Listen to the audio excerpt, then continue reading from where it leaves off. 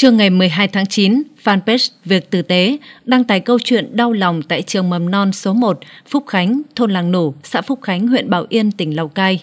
Theo những hình ảnh từ vùng lũ Bảo Yên, Lào Cai được phóng viên chia sẻ, một lớp tại trường mầm non ở thôn này có 18 bé, thì 10 bé đã ra đi sau vụ sạt lở. Đi kèm bé đăng là hình ảnh các cô giáo mầm non ngậm ngùi khóc bên những bức vẽ, chiếc ca, cốc, đôi dép. Đó là những đồ dùng còn lại của các con. Một bạn đọc đau buồn để lại bình luận Lẽ ra hôm nay các con đã được đến trường như bao bạn khác Nhưng bão lũ đã cướp đi các thiên thần rồi theo Ủy ban Nhân dân tỉnh Lào Cai, tính đến 9 giờ sáng ngày 12 tháng 9, vụ sạt lở đất tại thôn Làng Nổ, xã Phúc Khánh, huyện Bảo Yên đã khiến 41 người thiệt mạng, 54 người mất tích, 17 người bị thương đang điều trị. Tổng số hộ trong khu vực bị lũ quét là 37 hộ. Thôn Làng Nủ là nơi sinh sống của 158 người, trong đó 3 người trên 70 tuổi, 18 người là trẻ dưới 6 tuổi, trẻ dưới 14 tuổi là 14 người. Đến nay trên địa bàn tỉnh, bão lũ sạt lở đất đã khiến 88 người thiệt mạng, mất tích 85 người, bị thương 70 người. Tay cầm nén hương, Chân quỳ sụp xuống dưới bùn, anh Hoàng Văn Đồng hướng ánh mắt ra phía lực lượng tìm kiếm để ngóng thi thể người thân. Anh bật khóc, tôi không biết cả nhà đã chết bao nhiêu người. Tiếng khóc của chị Phương Linh ở thôn nàng nổ khiến những người bên cạnh không cầm được nước mắt. Sao ông trời lại cướp đi con của em, cho em được nhìn thấy con em lần cuối đi. Chỉ ít phút trước đó, thi thể hai người con của chị được tìm thấy và người mẹ đã không thể đứng vững trước nỗi đau quá lớn. Từ sáng sớm hôm nay, hàng trăm cán bộ chiến sĩ sư đoàn 316 quân khu 2 đã tiến vào hiện trường vụ lũ quét ở thôn Làng Nủ, xã Phúc Khánh, huyện Bảo Yên, tỉnh Lào Cai, tiếp tục tham gia tìm kiếm người mất tích. Thiếu tướng Nguyễn Đăng Khải, Phó Tư lệnh Tham mưu trưởng quân khu 2 quán triệt nhiều nhiệm vụ với lực lượng tìm kiếm, trong đó nhấn mạnh việc tìm kiếm cốt lõi là phải dựa vào dân, thời gian tìm kiếm có thể làm sớm nghỉ muộn.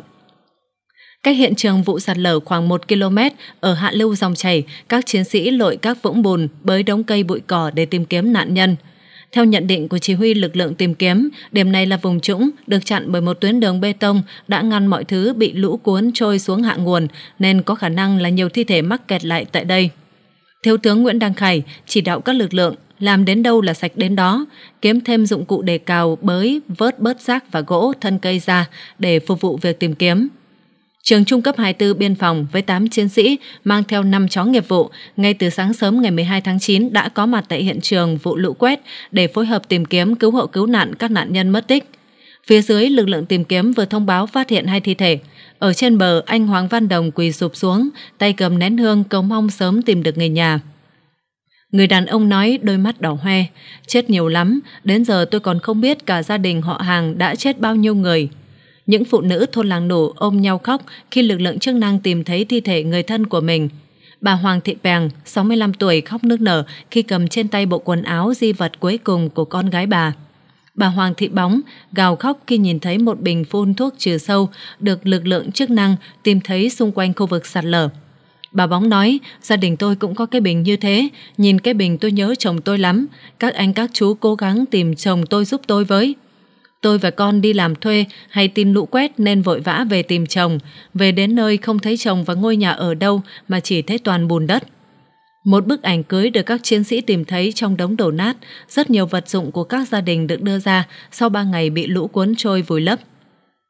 Bà Hoàng Thị Luật xót xa cầm theo bức ảnh của cháu họ là bé Quỳnh L 2 tuổi. Giọng nghẹn lại bà cho biết nhà của cháu hiện chỉ còn người bố bị thương đang nằm viện, còn bốn mẹ con đều bị cuốn trôi theo dòng lũ. Một chú chó nằm bất động sau căn nhà ngập bùn đất, có lẽ đây là vật nuôi may mắn nhất. Ngoài hiện trường lũ quét, rất nhiều trâu bò lợn gà của người dân đã chết do mấy ngày bị cuốn trôi và kẹt cứng giữa bùn lũ. Làng nổ hoang tàn sau trận lũ quét kinh hoàng, một thôn bản vốn xanh tươi với hàng chục hộ dân sống quây quần như một đại gia đình, nay chỉ còn là đống bùn đất lạnh lẽo.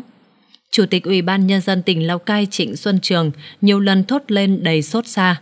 Không ai nghĩ nơi đây sẽ xảy ra một thảm họa kinh hoàng như thế. Ông cho biết tỉnh đang nỗ lực tìm kiếm địa điểm tái định cư để giúp người dân làng nổ sớm tái thiết cuộc sống. Sáng ngày 12 tháng 9, Thủ tướng Phạm Minh Chính tới Yên Bái thị sát tình hình, thăm hỏi đời sống người dân, kiểm tra động viên các lực lượng đang làm nhiệm vụ ứng phó mưa bão, mưa lũ, cứu hộ cứu nạn, khắc phục hậu quả thiên tai, tiếp tế nhu yếu phẩm cho người dân. Điểm đầu tiên, Thủ tướng tới thị sát động viên người dân và các lực lượng là tổ dân phố Bảo Thắng, phường Hồng Hà, thành phố Yên Bái. Tại đây, thời tiết đã tốt hơn, nước lũ đã rút, song bùn đất, rác thải vẫn ngổn ngang trên đường phố và nhà dân công sở các lực lượng quân đội, công an, thanh niên, phụ nữ vân vân đang huy động tối đa lực lượng dọn dẹp vệ sinh môi trường. Trong những ngày qua, bão số 3, mưa lũ thiên tai đã gây hậu quả rất lớn tại các tỉnh thành phố phía Bắc từ Thanh Hóa trở ra. Sau bão, tại Bắc Bộ liên tiếp xảy ra mưa rất lớn trên diện rộng, lũ một số nơi ở thượng nguồn đã vượt mức lũ lịch sử, ngập lụt, sạt lở đất, lũ ống, lũ quét đã xảy ra ở nhiều địa phương, gây thiệt hại rất nặng nề về người và tài sản của nhân dân và nhà nước. Thủ tướng Chính phủ đã ban hành nhiều công điện liên tiếp chỉ đạo các bộ ngành cơ quan địa phương tập trung ứng phó bão mưa lũ sạt lở vân vân từ sớm từ xa với tinh thần chủ động quyết liệt phòng ngừa ứng phó ở mức cao nhất thành lập các đoàn do Thủ tướng, các Phó Thủ tướng Chính phủ, các Bộ trưởng trực tiếp đi kiểm tra đôn đốc, chỉ đạo triển khai công tác ứng phó ở các địa phương, quyết định lập ban chỉ đạo tiên phương để trực tiếp chỉ đạo ứng phó mưa bão. Yên Bái là một trong những địa phương chịu thiệt hại nặng nề do đợt mưa lũ, thiên tai hiện nay – Đặc biệt, Yên Bái có hồ thủy điện Thác Bà, một trong ba hồ nước nhân tạo lớn nhất Việt Nam, nằm ở hai huyện là Lục Yên và Yên Bình. Tính tới chiều tối ngày 11 tháng 9, theo báo cáo nhanh của Ban Chỉ huy Phòng chống thiên tai và tìm kiếm cứu nạn tỉnh, Yên Bái đã có 44 người thiệt mạng và mất tích, 23 người bị thương. Tính ước tính giá trị thiệt hại tài sản là khoảng 820 tỷ đồng. Về công tác chỉ đạo ứng phó khắc phục thiệt hại, Thường trực tỉnh ủy, Ủy ban nhân dân tỉnh tập trung thực hiện nghiêm các chỉ đạo công điện của Thủ tướng Chính phủ và các bộ ngành trung ương. Tổng số lực lượng huy động tham gia khắc phục hậu quả của thiên tai là trên 30.835 người, 129 máy xúc, 14 máy ủi, 63 xuồng máy, 24 thuyền máy, 11 thuyền nan, 38 máy phát điện, 168 máy cơ xăng, vân vân. Cấp ủy chính quyền các cấp trên địa bàn tỉnh đã tập trung chỉ đạo huy động lực lượng phương tiện xuống hiện trường thực hiện công tác tìm kiếm nạn nhân bị thương vong do sạt lở đất, đưa nạn nhân bị thương đi cấp cứu, đồng thời hỗ trợ tạm thời cho gia đình có người bị chết 25 triệu đồng một người, hỗ trợ gia đình có người bị thương là 5 triệu đồng một người. Tỉnh đã di rời 12.008 hộ dân có nhà bị hư hỏng và 21.288 hộ dân có nhà bị ngập để đảm bảo an toàn, Thành phố Yên Bái và các huyện bị ảnh hưởng nặng, nhất là các địa bàn bị cô lập, đã triển khai mua lương thực thực phẩm, hàng hóa, nhu yếu phẩm thiết yếu, đồng thời tiếp nhận hàng cứu trợ từ các đơn vị tổ chức cá nhân để cứu trợ cho các hộ trong vùng ngập lụt.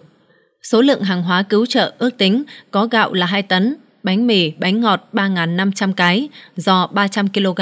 cơm, xôi 5.000 suất, mì tôm 3.000 thùng, nước uống 3.500 thùng, lương khô 1.000 hộp, sữa 500 thùng, vân vân. Theo cập nhật của Cục Quản lý Đê điều và Phòng chống thiên tai, Bộ Nông nghiệp và Phát triển Nông thôn, tính đến 17 giờ 30 phút ngày 11 tháng 9, lũ lụt ở miền Bắc đã xảy ra tại 12 tỉnh, thành phố, với tổng cộng là 54.051 ngôi nhà nằm ở các khu vực bị ngập lụt lũ lụt bao vây. Trong đó Nam Định 959 nhà, Hà Nội 6.521, Yên Bái 21.288, Lạng Sơn 4.254, Thanh Hóa 138, Lào Cai 1.538, Thái Nguyên 5.000, Bắc Cạn 336, Sơn La 260, Hà Giang 664, Tuyên Quang 10.489, Ninh Bình 2.604. Ông Mai Văn Khiêm, Giám đốc Trung tâm Dự báo Khí tượng Thủy văn Quốc gia, đánh giá đây là đợt lũ hiếm gặp. Dữ liệu thống kê đến thời điểm hiện tại, ở hầu hết các sông ở khu vực sông Hồng, Thái Bình, trên sông Thao, sông Lô, các điểm đo đều trên mức báo động 3, trong đó có điểm đo trên sông Thao tại Lào Cai, Yên Bái, vượt lịch sử 56 năm qua. Đáng chú ý, một số khu vực đang bị ngập lụt sạt lở chia cắt, tỉnh chưa tiếp cận được. Tỉnh Cao Bằng có huyện Nguyên Bình gồm xóm Lũng Súng, xã Yên Lạc, còn 4 người mất tích, xóm Lũng Lì, xã Thanh Ca, 5 người mất tích, bị sạt lở chia cắt. Tỉnh Lào Cai có xã A Lù, huyện Bát Sát và xã Nậm Lúc, huyện Bắc Hà, 7 người mất tích, bị sạt lở chia cắt. Tỉnh Yên Bái, huyện Lục Yên có thôn Khe Pín, xã Tân Thượng, sạt lở đất khiến hai người chết và các xã Tân Lĩnh, xã Phan Thanh, sạt lở đường vào xã, các xã Khai Trung, Báo Đáp, Đào Thịnh, Ngân Quán, Minh Quân, Y Can, Quy Mông bị ngập và chia cắt.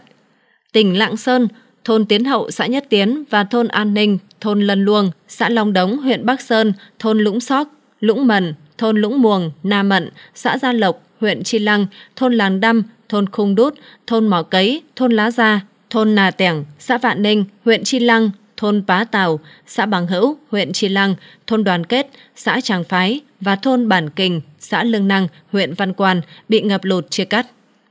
Tỉnh Bắc Giang, bốn khu dân cư bị cô lập do nước lũ, gồm khu dân cư Bối Đa Hội, xã Hợp Thịnh, huyện Hiệp Hòa, thôn Trung Hưng, xã Mai Trung, huyện Hiệp Hòa, xã Vân Hà, thị xã Việt Yên, thôn Ngọc Trai, xã Quế Nham, huyện Tân Yên. Tỉnh Thái Nguyên có 12 phường xã của thành phố Thái Nguyên gồm Quang Vinh, Đồng Bẩm, Chùa Hang, Cao Ngạn, Huống Thượng, Linh Sơn, Túc Duyên, Cam Giá, Hương Sơn, Đồng Liên, Sơn Cẩm, Tân Long, xã Lam Hòa, huyện Đồng Hỷ, 8 xã của huyện Phú Bình như Đào Xá, Bảo Lý, Nhã Lộng, Nga Mi, Hà Châu, Thượng Đình, Xuân Phương, Úc Kỳ bị ngập lụt chia cắt. Lũ lụt ở miền Bắc bắt đầu từ cơn bão số 3, tên quốc tế là bão Jackie. Bão Jackie đổ bộ vào Quảng Ninh, Hải Phòng vào chiều ngày 7 tháng 9 với cường độ cấp 12, cấp 13, giật cấp 15. Bão Jackie duy trì cấp siêu bão hơn 24 giờ trên biển. Khi từ đảo Hải Nam Trung Quốc xuống vịnh Bắc Bộ của Việt Nam, bão mới giảm cấp. Từ thời điểm bão chuẩn bị đổ bộ cho đến khi bão tan, hoàn lưu trước, trong và sau bão đã gây ra các trận mưa lớn cho nhiều tỉnh thành miền Bắc Việt Nam. Mưa lớn kéo dài nhiều ngày, nước lũ thượng nguồn đổ về khiến các tỉnh thành phố ở miền Bắc địa phương nào cũng có chỗ ngập lụt hoặc là lũ quét hoặc là sạt lở đất gây ảnh hưởng nghiêm trọng đến tính mạng và tài sản của nhân dân. Ngay cả một số quận nội thành ở thủ đô Hà Nội hơn một ngày nay cũng bắt đầu bị nước lũ bao vây.